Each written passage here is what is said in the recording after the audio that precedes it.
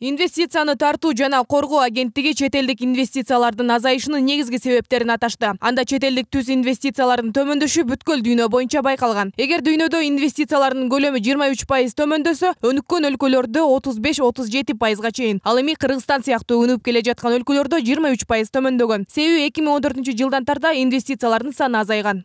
Э, бирок мындай карасаңыз компаниялардын саны өсүп атат Э, компаниялар келген саны дагы мындай салыштырмалуу э, төмөнүрөөк саны өсүп атат бирок ушул бир компанияга келген орто баягы көлөмдөгү инвестициялардын саны төмөндөп атат жүргүзүлгөн иштердин алкагында кыргызстанда эки миң он сегизинчи жылдын эсеби боюнча гемодиализ борборун ачуу долбоору ишке ашкан. Долбоор боюнча бишкекте эки борбор жалал абад менен ош облустарында бирден гемодиализ борборлору болуп жалпы төрт объект ачылат. Ал эми экинчи кол коюлган келишим боюнча кызыл кыргызстан кинотеатрын калыбына келтирүү долбоору бар. Бул долбоордун суммасы үч жүз миң долларды түзөт.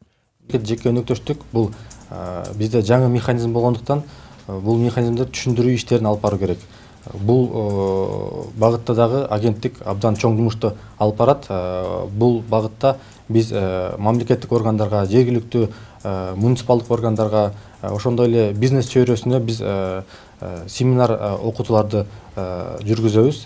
Инвестициянын көбү кытай өзбекстан түркия жана индиядан келет. Агенттик көйгөйлүү долбоорлордун бири катары беш жылдыздуу новотель конок уюн тоо лыжа базасы зил жана башка долбоорлор экенин баса белгилеп айтты. Инвесторлорду тартууда жергиликтүү башкаруу органдары коомчулукка чоң роль ойнойт. Ошондуктан алар коомго инвесторлор тууралуу маалымат бериши керек.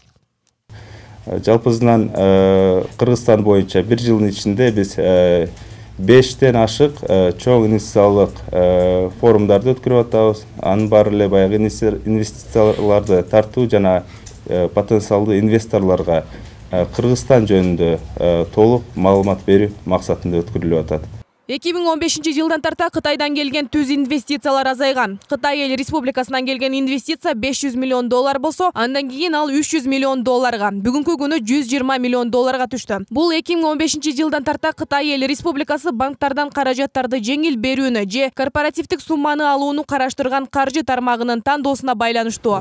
В этом году тридцать пять процентов да вот подсказывает. Эки миң он сегизинчи жылдын жыйынтыгы менен кытайдан келген инвестиция отуз беш пайызды түздү кытай эл республикасы кыргызстан евразиялык экономикалык биримдиктин мүчөсү болгондуктан активдүү түрдө инвестиция жасап жатат акыркы тапта кытайлык инвесторлор бул жерде өнөр жай түзүп евразиялык аймакка экспорт жасап жатат года наблюдается такая статистика. Жалпысынан алганда өткөн жылы өлкөгө үч жүз кырк беш миллион доллар өлчөмүндө инвестиция тартылып келсе үч жүз жыйырма сегиз миллион доллар өлчөмүндөгү инвестиция чыгып кеткен. Алса кыргызстанда чет элдик инвестиция отуз үч пайызга төмөндөгөн. Эки миң он сегизинчи жылдын жарым жылында чет элдик инвестиция эки жүз кырк жети миллион долларга башкача айтканда отуз үч пайызга төмөндөгөн. Чет элдик инвестиция кмш өлкөлөрүнөн сырткары бир бүтүн ондон жети эсе азайган. Канада жыйырма алты эсе ондон төрт эсе. Улуу британия бир бүтүн ондон үч эсе төмөндөгөн. Жалпы чет өлкөлүк түз келет. Кытай отуз тогуз бүтүн ондон бир пайыз. Нидерланды тогуз бүтүн ондон үч пайыз болсо түркия жети бүтүн ондон сегиз пайыз. Германия алты пайыз. Улуу британия беш бүтүн ондон жети пайыз инвестиция жасайт. Кмш өлкөлөрү боюнча чет элдик инвестиция үч бүтүн ондон үч эсеге жогорулаган. Россиялык инвестиция бир бүтүн ондон тогуз эсеге көбөйгөн.